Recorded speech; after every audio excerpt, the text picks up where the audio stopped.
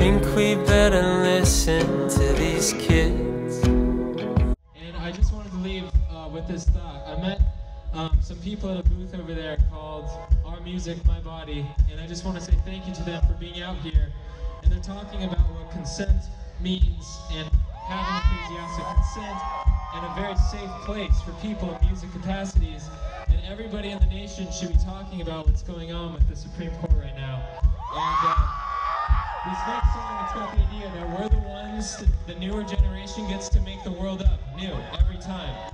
And this is our chance to change the culture and to say that it's not okay, that it has to be a safe place, and that consent must be there. And we can't reward people for not doing that. Thank you very much.